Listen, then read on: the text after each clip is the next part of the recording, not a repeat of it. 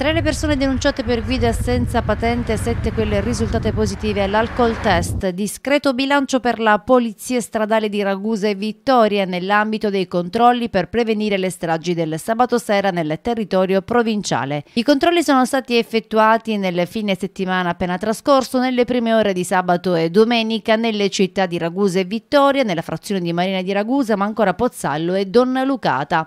Quattro le persone per cui è scattata la denuncia penale, si tratta di due ragusani rispettivamente di 34 e 23 anni perché trovati con un tasso alcolemico superiore alla soglia consentita, un tunisino di 48 anni già con precedenti per guida in stato di ebbrezza e una ragusana di 23 anni.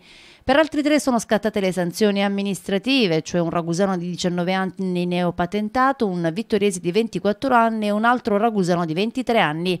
A tutti è stata ritirata la patente. Altri controlli sono stati effettuati nei comuni di Comiso, Vittorio e Ragusa e nella località di Camarana sono stati fermati due rumeni ed un tunisino alla guida dei veicoli pur non avendo mai conseguito la patente, motivo per cui sono stati denunciati per guida senza patente.